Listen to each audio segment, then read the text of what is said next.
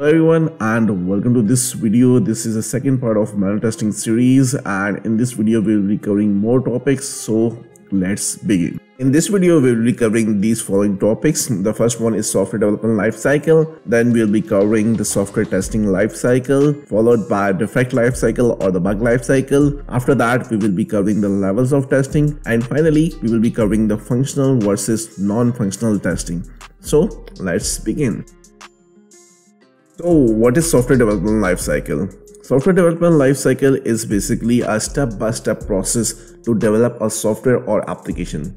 This is also known as application lifecycle development.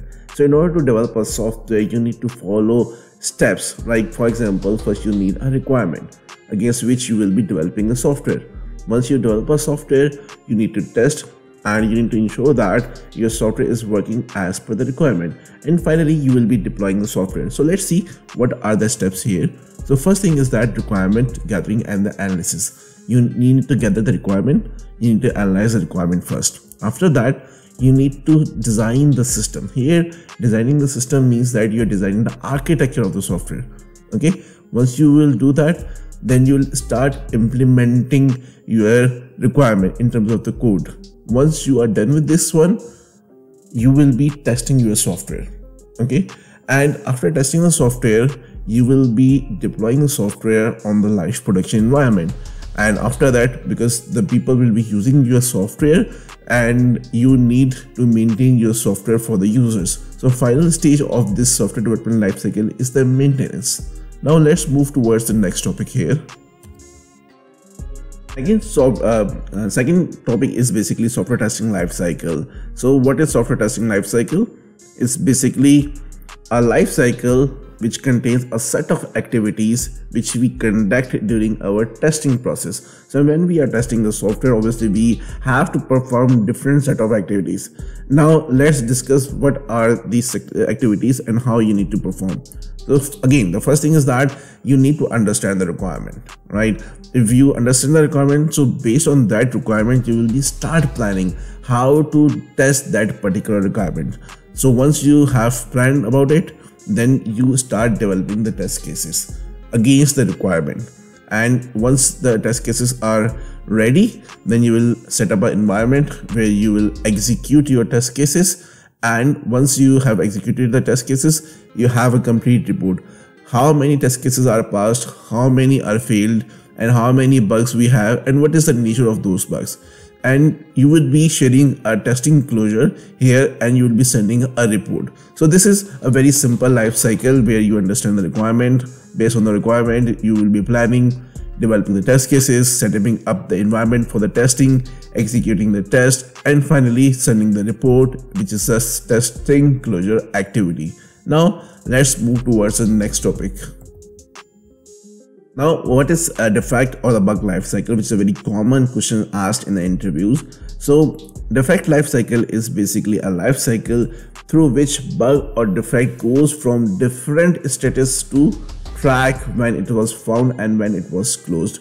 As a development team, we need to track of the bugs when they are identified, what are their current status either they, they are fixed or not when they got fixed when they got tested when they got verified. So we need that to follow. We need to track. So how we can do that? Simply we have a very common set of uh, status. You can add as per your requirement but these are the common status you can follow. So as soon as you found out a bug it will be moved to a new state. Okay? And after that it will be moved to the assigned. Assigned means that it would be assigned to respective team, development team, and they will now start working on this one. After this one, either they will mark it as a not a bug. If they find out that this is not a bug, they will mark it as not a bug. Else, what else they can do? They simply mark it as a duplicate. Maybe you were you or your team has already reported the same bug previously and he or the developer simply marked it as a duplicate of the previous one then what else developer can do is that they can developer or the project management can mark it as a deferred so deferred means that this bug is not in a priority and this might be fixed in the upcoming releases or the patches So deferred doesn't mean that it will not be fixed. It will be fixed, but it will not fix immediately, not right now. And if the developers find out that this is an actual bug, they will fix it out and your status would be fixed. They will mark it as a fixed for you. And then you will pick it in the testing and you will be verifying that either this bug is fixed or not. If this is a fixed or not, depending on that, there will be two statuses. If you found out that this is not fixed yet, you will reopen this bug and again, this will be assigned to a development team. If this is a fixed, we will mark it as verified and we will close this bug finally. So this common status you need to know and you can add more statuses if required but these are the common ones you should be knowing about the defect lifecycle. Now let's move towards the next topic levels of testing. Now what are the levels of testing? Levels means that when testing needs to be done. There are four levels of testing. Levels are sequence and step by step.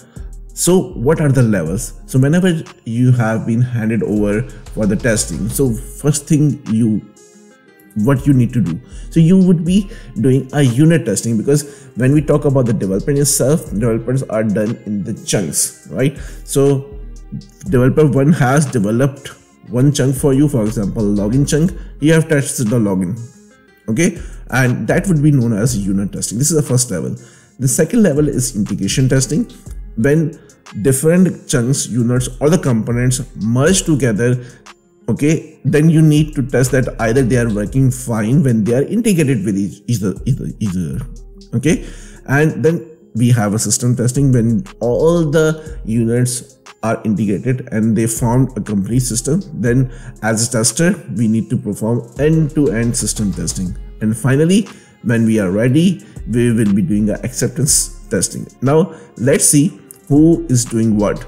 So testing is basically unit testing is basically an individual testing unit and this is done by the developers.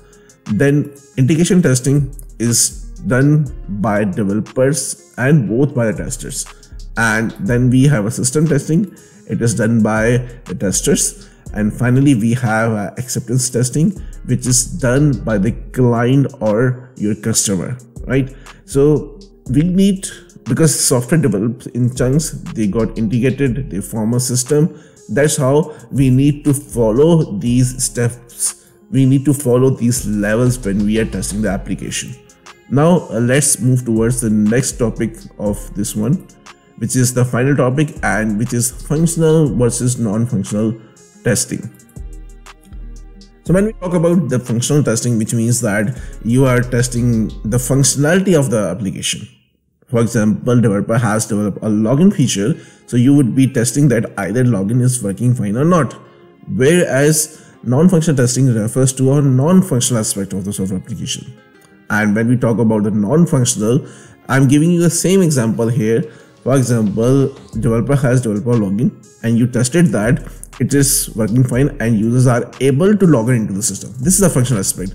And now if we talk about non-functional aspect, we need to check the performance of this feature, for example, and you need to check that if thousands, hundred thousands of the users are trying to log in into a system, how your system will behave. What will be the performance of your system?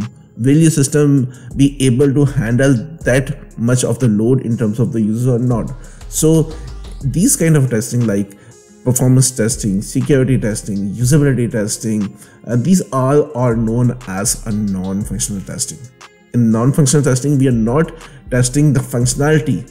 We are just checking how our system will behave. Non-functional aspects. It can be performance, load, stress, security, and so on. Thank you so much for watching this tutorial. If you like our content, then do like, comment, share and subscribe our channel. Once again, thank you so much and see you in the next tutorial.